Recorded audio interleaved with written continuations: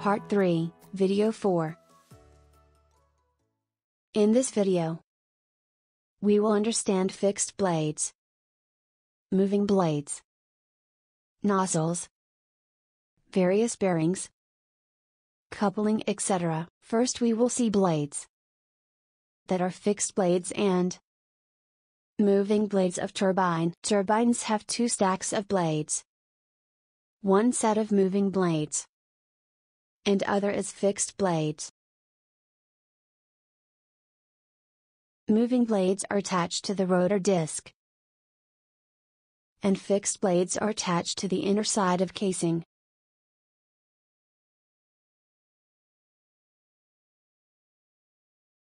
Moving blades produces torque and power from the steam flowing over them, which causes rotation of complete set of moving blades and axle. When steam flows in forward direction, its pressure and velocity reduces. Here comes the role of fixed blades. They increase and maintain velocity and redirect the steam to next moving blades. These fixed blades are also called nozzles or guide vanes.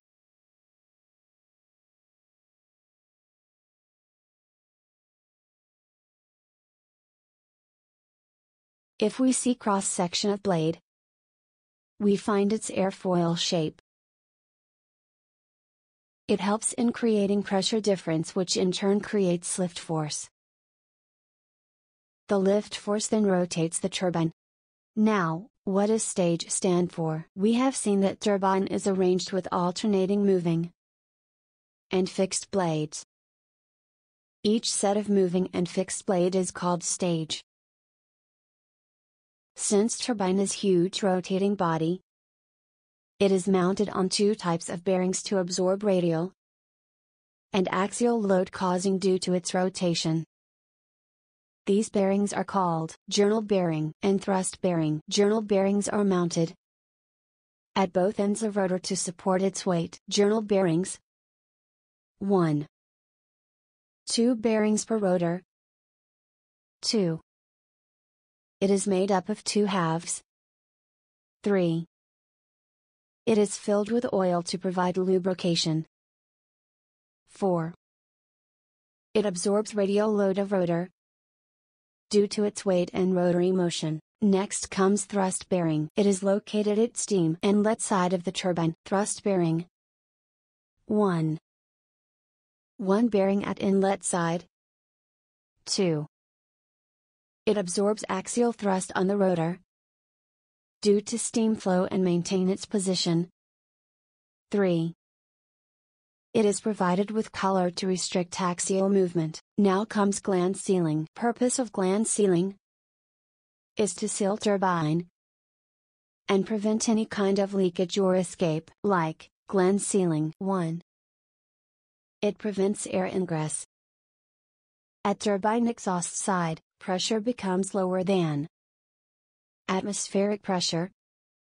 Then there are chances of air ingress into the turbine. Gland sealing is done to prevent air ingress at such location. 2. It prevents steam escape to the atmosphere. At turbine inlet side, pressure is higher than outside atmospheric pressure. It will cause escape of steam out of turbine which will impact efficiency adversely. Therefore gland sealing is done to prevent steam escape. In large steam turbines labyrinth sealing is used for this purpose.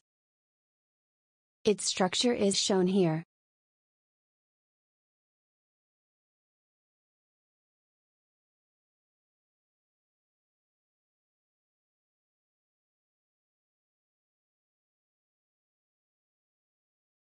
Teeth-like structure fits in the space or grooves and seal it. That's all about today's session. In our next video we will show working of steam turbine. Please subscribe, and share which will help us to grow. Thanks for watching and stay tuned.